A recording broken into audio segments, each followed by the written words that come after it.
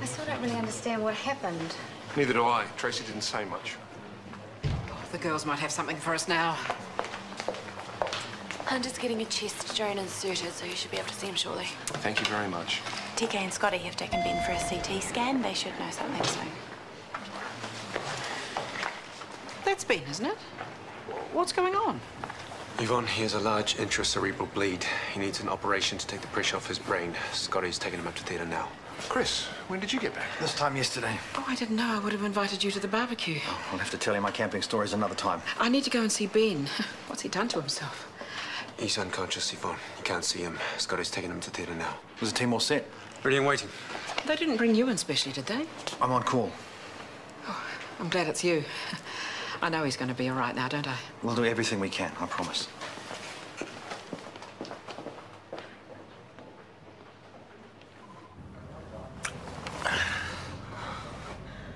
Have you got a cigarette?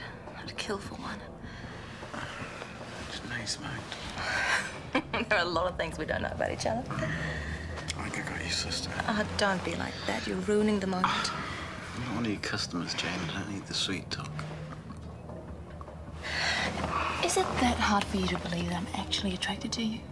Where's your self-esteem? I haven't got any left. I thought you knew that. Well, you can pat yourself on the back for that performance. You were amazing. I'm sorry. You were amazing. Now give me $50,000.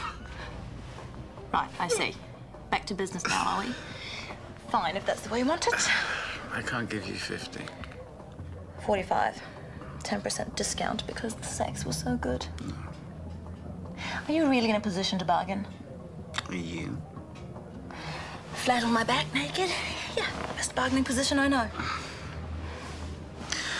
The way I see it, you got three options. I could call the cops right now.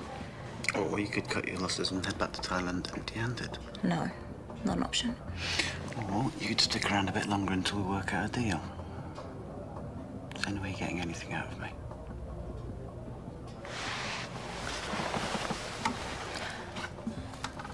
I wouldn't mind some more what I've just had.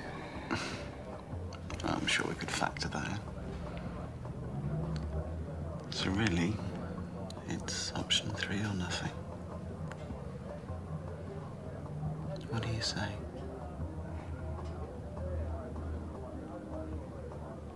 Uh, it's looking good. Well, you'll be pleased to know we did get the tube in the right place. It's the problem with these Swati medical students. They're just waiting for you to make a mistake. How's Ben? Not great. He has a large subdural bleed and he's in surgery right now. Oh, man. It's all my fault. No, I don't think so, unless you were the one that gave him the whack on the head. I was being an idiot. I, I nicked a car park off a bunch of thugs and then told them to bring it on when they were getting all heavy about it. Well, in that case, they're totally justified in sticking a screwdriver into your chest, please. I gave them the finger. Maybe not the smartest move you could have made, but doesn't make it your fault. Sorry, buddy. I need to take an arterial blood gas. Sure. Okay, people, we're against the clock here. I don't like the look of that scan.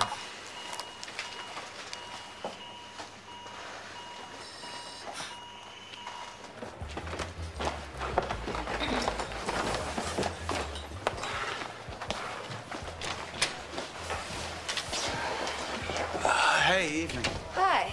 Uh, have you spoken to Sophie this afternoon? No, she'll be halfway to Australia by now. I was just wondering if anyone had told you. Hunter's been in an accident. What? Accident probably isn't the right word. He was attacked. He's across the road now with a drain in his chest. What happened? You know as much as I do.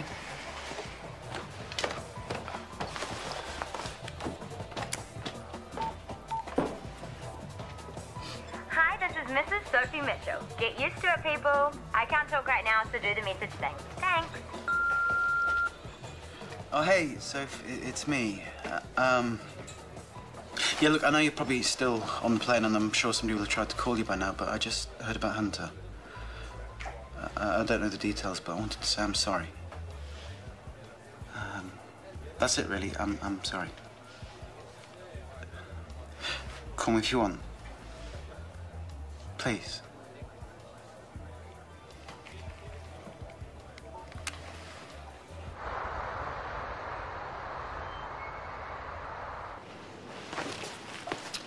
You here by yourself? Rachel's gone for coffee. Well, if you feel like something stronger, I'm gonna be at the IV later. Thanks, but no. Um, I'm assuming Hunter's gonna be okay? Yeah, he was lucky. All right. Where is he now?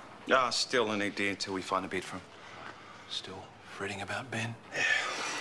Right. I better go and see him. Yeah, you do that. Oh, by the way, hats off to Helga. First day on the job and her hit rate was 100%. Really? That good? Well, if I was a gambling man, I'll put money on her for tomorrow. So we made some converts in the ED. Yeah, even Scotty.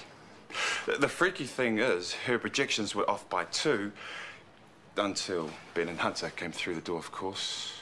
But she got the big tick from HDU. Good. But apparently, she's predicting one more admission for them. Well, let's hope she's wrong. Well, even if she's right, it doesn't mean Ben's surgery went badly. He'll probably go there from theatre anyway. They'll keep him sedated for a while, whichever way it goes.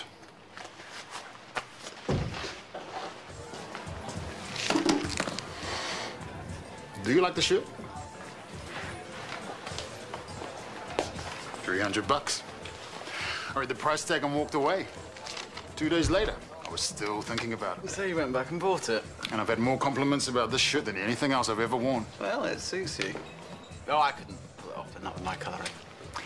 But the moral of the story is... Follow your instincts. I can't wait forever, mate. Yeah, well, there's a bit of a difference between a $300 shirt and a 50 grand stake in a racehorse. Last chance. Take a seat, I'll bring you a whiskey.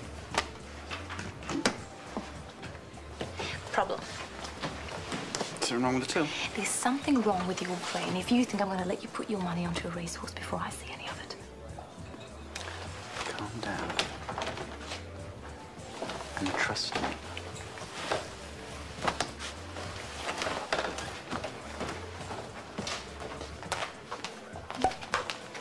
You are incredible. Did you bother to wait until Sophie had left the country? Or was that what drove her away?